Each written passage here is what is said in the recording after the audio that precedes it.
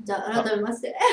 こんにちは。高木夫婦です。じゃあ、今日は、えー、成功夫実現の6ヶ月かけたプログラムの第1回目をやります。でね、えー、成功夫実現プログラムで一番伝えたいポイント、それは幸せな結婚生活と仕事の成功を同時に得るっていうことなんだけれども、別にここは仕事の成功じゃなくても、あの、究極的には最大の幸せな人生を送る方法は何かっていうことについてお伝えします。で、えっと、成功夫婦の定義だけちょっと簡単に最初にしておきたいなと思うんですけど、成功夫婦っていうのは自分が望んでいる人生を生きている人です。だから別に、えっと、自分がそんななんかものすごいなんか莫大な財産を稼ぎたいと思ってなければ、別にそんなことする必要ないし、えー、自分がこういうことをやりたいとか、こういう人生を送りたいっていうことを望んだ人生を生きている人。これが成功夫婦です。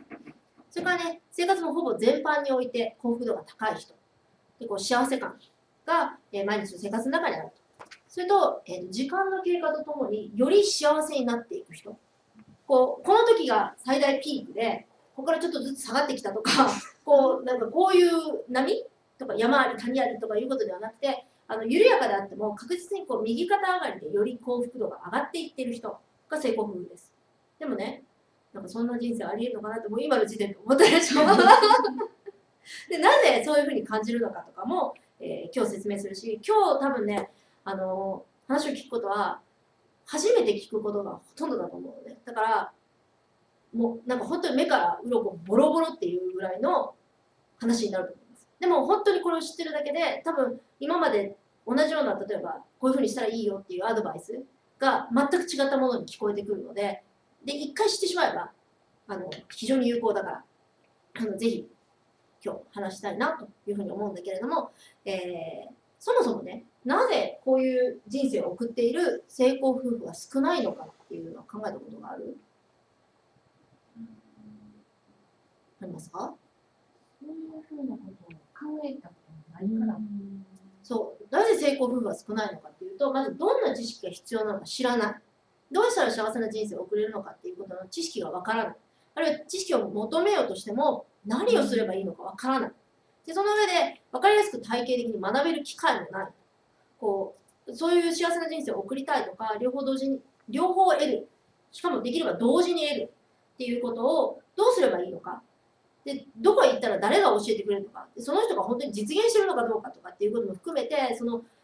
ただ、机上の空論的に、観念的にこうすればいいっていうことじゃなくて、現実社会で、今リアルな現実生活の中でどうすればいいかっていうことを学べる機会がない。なので、えー、成功夫婦が非常に少なくなっている。じゃあ、成功夫婦に必要な知識とは何なのか。もうたくさんいろんな知識があるけれども、あのー、その細かいところを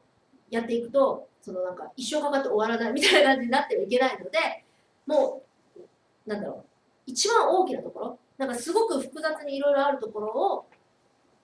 究極的に単純化して分かりやすくして、ここだけ押さえたら8割方いけるっていう風にして作ったのが今回の教材。なので、じゃあ、成功夫婦とそうでない人の違いを知ること。ポイントね。で、次に、成功夫婦になるために必要な行動だから、成功夫婦とそうでない人の行動の違いを知る。そして、成功夫婦の行動習慣を人生に取り入れる。それから、習慣だから歯磨きと同じように、自分がもうそれを無意識的にもできるようにしてしまう。で、それから、機会は成功夫婦に会うこと。それから、成功夫婦の話を聞いて学ぶ。そうすると、えー、それが知恵になるから、あ、こういう時はこういうふうにしたらいいんだなっていうことがわかる。じゃあ、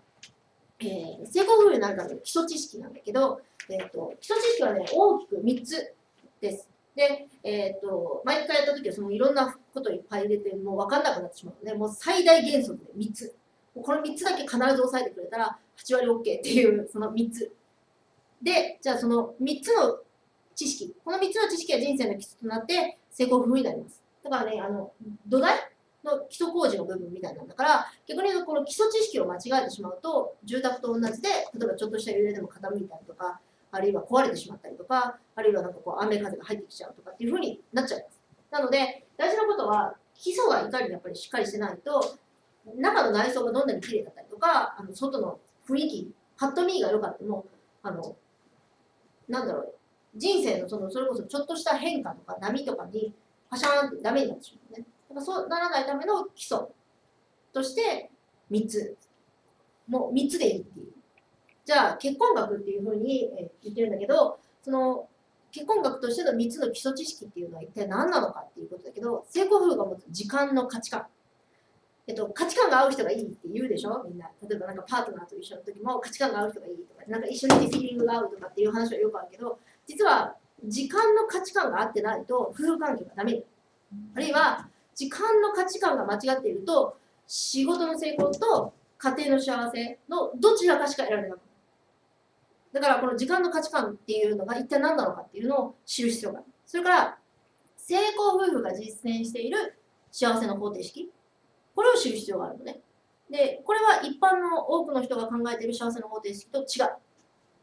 それから、えー成功夫婦がしている5つのハードルの乗り換え方。これはほとんど誰の人生にも起こりうるこう人生でのハードルとなるようなこと一見をどうやったらすんなりうまく乗り越えていって、さらにそれが自分の成長だったり発展だったり、夫婦の絆を深めたり、仕事のチャンスを増やすことにつなげるかっていう方法を知ってるかどうかっていうのが全然違って。なので、えー6ヶ月かけて、えっとこの3つの三大原則をやるんだけれども、あの、妊婦さんの出産の時期を考えて、あの、今日、9個この1と2はもう、今日中にやってしまいます。で、3だけはちょっとやっぱり、ボリューミーなのね。で、1個ずつやった方がいいので、残りの5ヶ月をかけて5つのハードルを1つずつどうやって乗り越えていけばいいか。これはなぜかというと、具体的なシミュレーションをしたりとか、具体的なシチュエーションを考えて、じゃあそういう時どういうふうにしたらいいかっていうことを考えた方が有効だから。なので、そうすると1と2はもう今日やるので、あの、じゃあ時間の価値観。時間の価値観。時間の価値観って聞いたことある？